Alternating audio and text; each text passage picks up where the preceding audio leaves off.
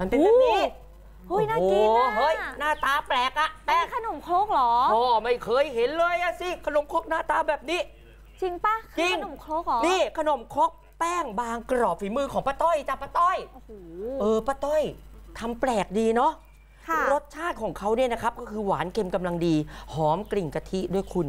มีลูกค้าเนี่ยนะครับแวะเวียนมาอุดหนุนกันทั้งวันทั้งคืนเลยอะ ป้าต้อยลัดดาสุภาผล เจ้าของร้านเขาบอกว่า ขายขนมครกมานานกว่า 30 ปีแล้ว แต่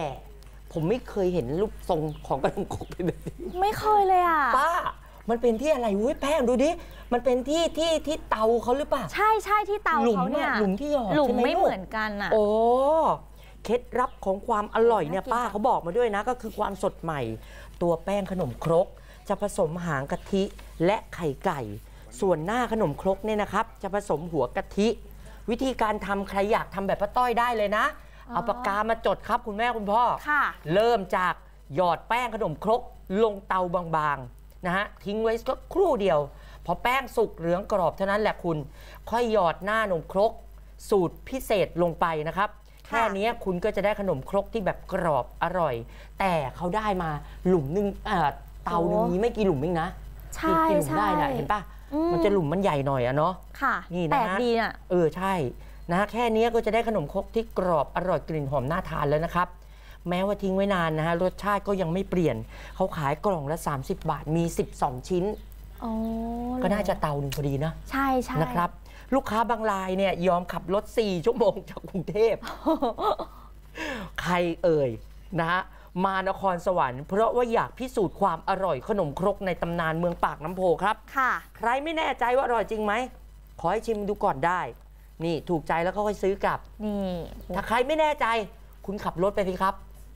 ไปคุณเลย จะได้แน่ใจ คุณจะได้แน่ใจแล้วค่ะ คุณจะได้รู้ อืมนะฮะ เออแต่ละวันเนี่ยเขาขายได้ประมาณ 70-80 กล่องอะมีรายได้ก็วันละกว่า 2,000 บาท ค่ะ แวะไปชิมได้ที่ ร้านรถเข็นเล็กๆนะคะ ขายอยู่ใต้ต้นหูกวางนะคะอืมซอยวิมานแมนตำบลปากน้ำโพอำเภอเมืองนครสวรรค์นั่นเองค่ะ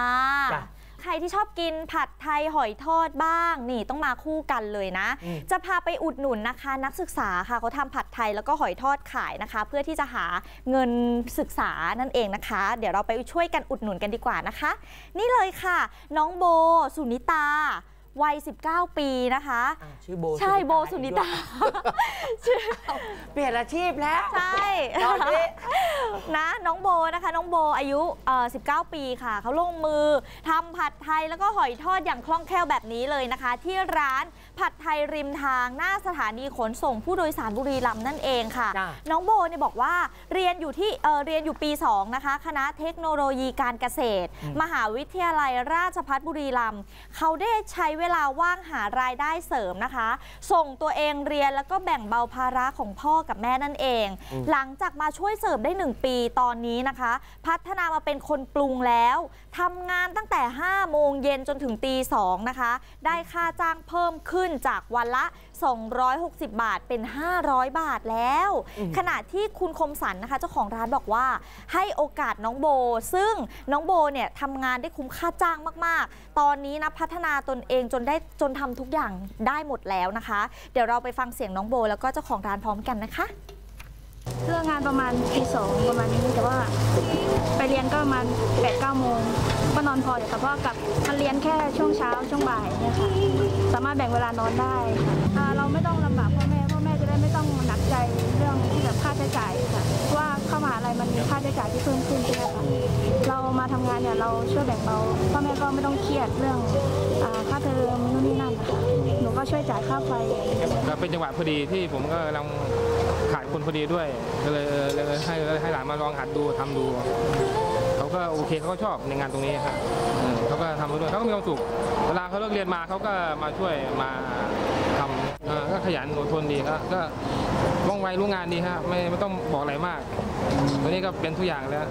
นี่โอ้น่าชื่นชมทั้งคู่เลยนะคะ ทั้งผู้ให้โอกาสแล้วก็ผู้รับโอกาสด้วย ขอให้ความดีคุ้มครองนะคะ ช่วยให้ขายดีๆ แล้วก็ประสบความสำเร็จในชีวิตต่อไปนะคะน้องโบสู้ๆนะคะอะดูมือแค่วคล่องว่องไวจังเลยใช่19นะดูดิแล้วทอดน่าเก่งกินมากมาก ๆ เลยอะครับ ค่ะทำเป็นทุกอย่างหมดแล้วในในร้านเนี่ยเก่งมาก เก่งมากเลยลูก นั่นแหละคืออาชีพแล้วล่ะน่าอุดหนุนเรียนไปยังไงไม่รู้ แต่ตอนนี้เขามีอาชีพแล้วใช่ค่ะระหว่างทางศึกษาอยู่นะครับ